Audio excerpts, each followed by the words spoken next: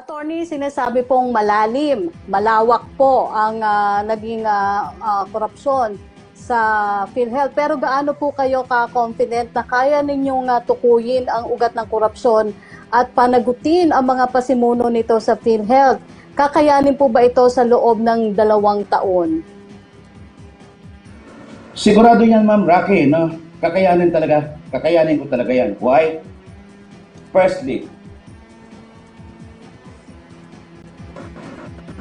have the full support of the President Nulis. I have the support of uh, uh, Senator Bongo.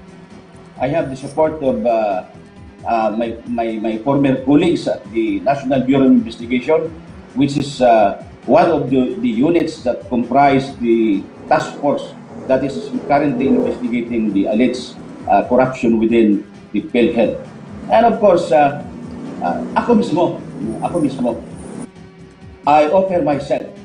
No? Uh, I'm, I'm already a senior citizen. Wala na akong ibang gagawin pa kundi ibalik sa komunidad ang whatever benefits that I have right now as not not only for uh, Filipinos but uh, a, a- sense of uh, a Christian living. It's a beautiful, great